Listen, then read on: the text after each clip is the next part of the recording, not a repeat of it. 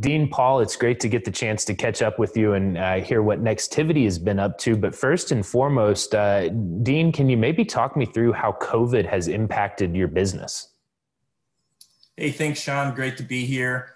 Um, yeah, you know, obviously, when March rolled around, uh, it was a surprise to the whole world, and uh, I would be lying to say it didn't impact the business at all. Um, but a good business pivots a little, right? So uh, there was a little bit of slowdown in the enterprise uh, side initially, as you know the industry got its bearings, um, and you know tenancy was in, impacted a little bit.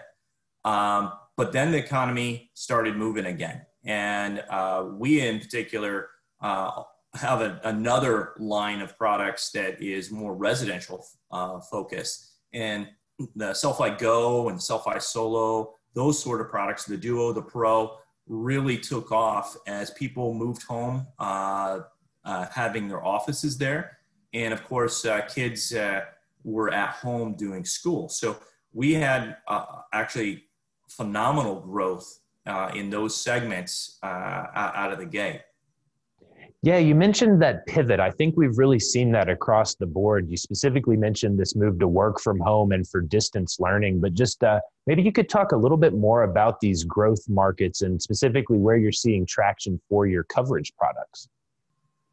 So, uh, on those sort of products, um, uh, again, we, we've seen the, the growth in uh, the residential, but the enterprise, the public safety products uh, we have had uh, a lot of growth in mul- multitudes of sectors, uh, whether it's that ma- manufacturing and distribution side, where uh, suddenly uh, there was a lot of stuff that was offshore moving onshore or increased capacity. We all get packages from Amazon. Um, they need cellular coverage in their facilities. Uh, the government space, healthcare, there were pop up hospitals, um, things like that. Um, the grocery stores. Uh, you suddenly had a lot of online shopping uh, and folks coming in with their phones that were uh, delivery drivers and they needed connectivity or um, virtual pay options, uh, touchless pay options uh, becoming uh, a big factor within commerce at stores. All of those requiring requiring cellular coverage solutions. And that's where our Cel-Fi Quatra, you know, at the beginning of the year, we had launched Quatra 4000. That came into play. And you know, Paul, I also wanted to catch up with you. Uh, something we've talked about before, but is what Nextivity is doing to address public safety and a emergency response from a product perspective. Maybe you could give us a little bit of an update in that regard. Yeah, thanks, Sean. Yeah, so as we've spoken before, and as Nextivity has uh, publicly announced, we've released our Cel-Fi Quatra Red for the ERRCS in-building public safety solution. This is an all-in-one, first of its kind, all-encompassing ERRCS system combined with a FirstNet cellular system in multiple bands. And this has been built upon our existing um, IntelliBoost platform where we've seen a lot of success on the cellular side and we've carried that over to the public safety side. So yes, our, our system integrators are excited. Many of them have already taken on the product, Sean. In addition, let me mention that the Cel-Fi Go Red continues to see growth with FirstNet. It helps fire departments needing portable communication solutions and the wildfires that we're continuing to see in the country and the pop-up hospitals. FirstNet coverage solutions are continuing to grow for both fire stations and police stations. So the Cel-Fi Go Red as well has seen great growth, Sean. Hey, that's great to hear. And you know, a lot of these uh, trends that we've been talking about so far, not necessarily unique to the U.S. And uh, Dean, I know growth in Europe has been something that's been a priority for Nextivity for some time now. Maybe you can give us an update on uh, how that's going. Yeah. So, so let's not forget that's actually you know 13 years ago that's where we initially launched was europe so we we have had a uh, a, a, bread and butter based business in europe uh, from the very beginning but this this past uh, year we've seen uh, Cel-Fi Solo uh, uh, be introduced in uh, more countries, more operators uh, across uh, the European continent.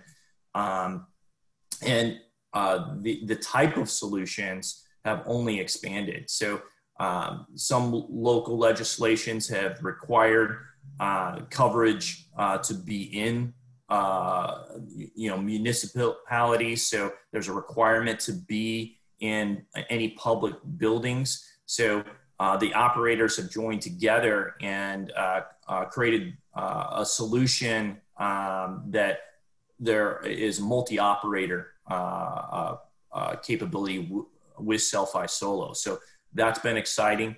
Um, then Cel-Fi Quatra continues to expand uh, in in more and more uh, sectors in Europe, just like uh, the U.S. So, so that's been exciting uh, to see.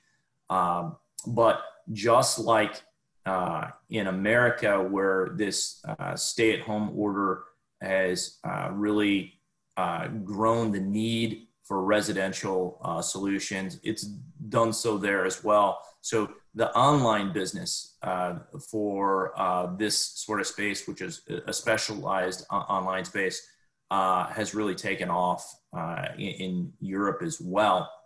So you're seeing more coverage solutions um, in, into the residents. Uh, now, if you remember that that change in the UK, uh, in which it changed the law and opening up so a customer can buy a solution uh, on the open market, uh, where in some countries uh, in Europe, you're not allowed to do that. You have to go through the operator. But the open uh, uh, market is a, thing with Ofcom uh, in the UK space. So that is that is created growth for that market as well. And you know, one other thing I wanted to talk about today is this expansion into fiber. You know, you can't have wireless without wires, and when it comes to cellular, fiber, key piece of the puzzle. So, Paul, maybe you can tell us a little bit about your plans there. Absolutely. So, it's official. The, the, you know, the, the customer base, the system integrators have been asking. Nextivity has officially grown into fiber. So, what does that mean? Well, take our Cel-Fi Quatra 4000, our latest um, active hybrid DAS solution, and we've added a fiber hub. This is a fiber hub that works over a single mode fiber. It works over a multi-mode fiber. What does that really mean? Well, now we're able to double our capacity with a single donor source, whether that's a small cell fed solution that the small cell feeds the Quatra 4000 or whether that's off air. What that fiber has really allowed us to do, Sean, is it's allowed us to go into bigger buildings now, sky rises, campuses, unique applications like, like mining. We can support now a 1.2 mile distance of fiber between the Quatra head end, which we call our network unit, and a fiber hub. So you can place coverage now over a mile away using this fiber hub. So there's been a lot of demand for this. Customers have been asking, and Nextivity has delivered. And we're going to continue to see fiber grow on our product roadmap. And we'll be making some more announcements in that space too. Well, it sounds like you're you're positioned to really capture a big opportunity there, and uh, it's great to catch up on all the other aspects of the business. Dean, Paul, I really appreciate your time today. Thank you, Sean. Thanks, Sean. Thanks all.